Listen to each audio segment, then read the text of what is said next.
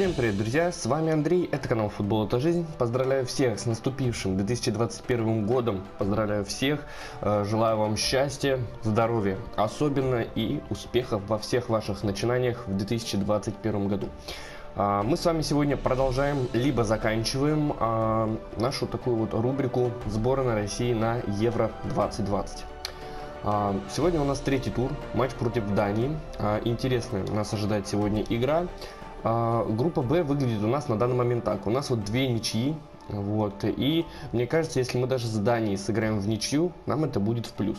Потому что пробежавшись а, по другим командам, мы видим, что на третью строчку, если обратить внимание, вроде как 4, а, если я ничего не путаю, команды а, с третьей строчки, 4 лучшие команды с третьей строчки попадают тоже в плей-офф.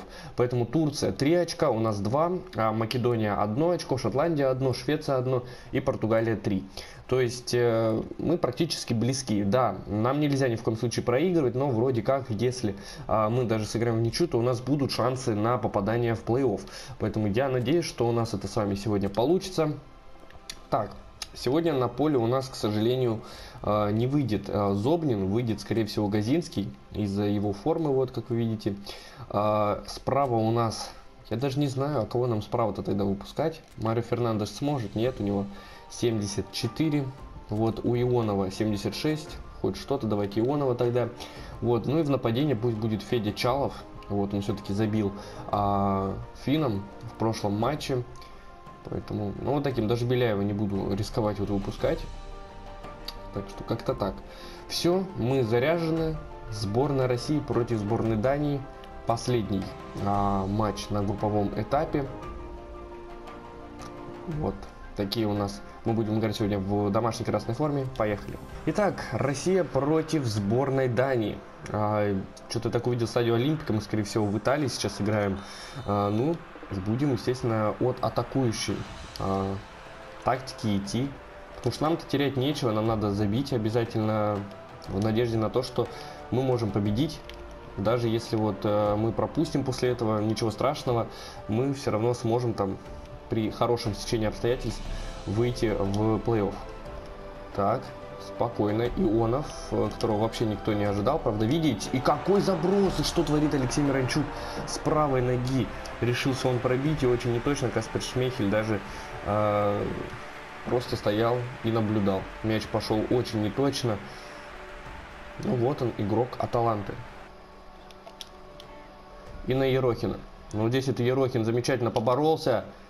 И перебрасывать нужно было, но, к сожалению, Шмейхель очень грамотно здесь все рассчитал, позицию, дистанцию до мяча.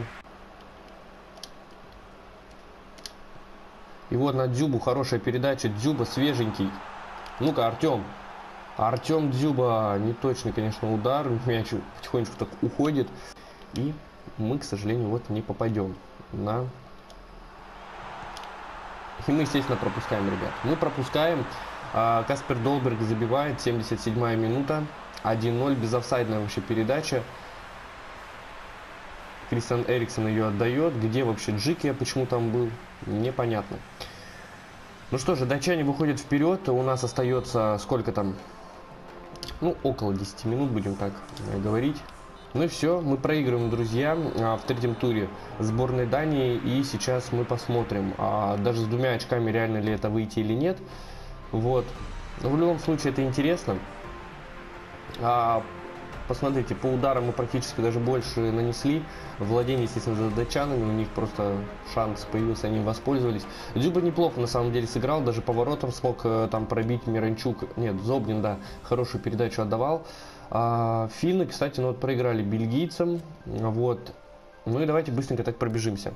Три очка Уэльса. 4 у Украины, 4 у Чехии, Швеция, Франция. Ох, ну кажется, мы все, мы точно пролетаем.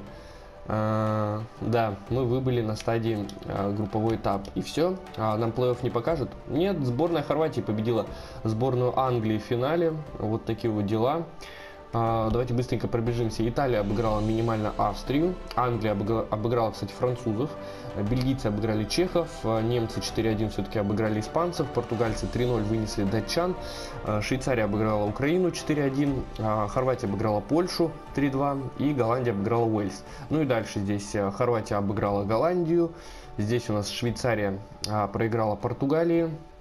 Там у нас немцы обыграли бельгийцев англичане обыграли итальянцев, ну и там уже получается, вот англичане обыграли э, немцев со счетом 3-0 и вышли в финал, ну а тут э, хорваты обыграли со счетом 1-0 португальцев, поэтому вот такие вот интересные у нас дела. Лучшим бомбардиром стал Сеферович, даже из сборной Швейцарии, 8 мячей он забил, лучшим ассистентом стал Фрёллер, ну вот, Поэтому, ребят, а, спасибо всем большое, то, что наблюдали за сборной России на Евро 2020. Пожелаем удачи нашим парням в реальных матчах. Надеемся, что такого вот не выйдет, но все равно матчи были интересные, мне понравилось, поэтому всех с наступившим 2021 годом.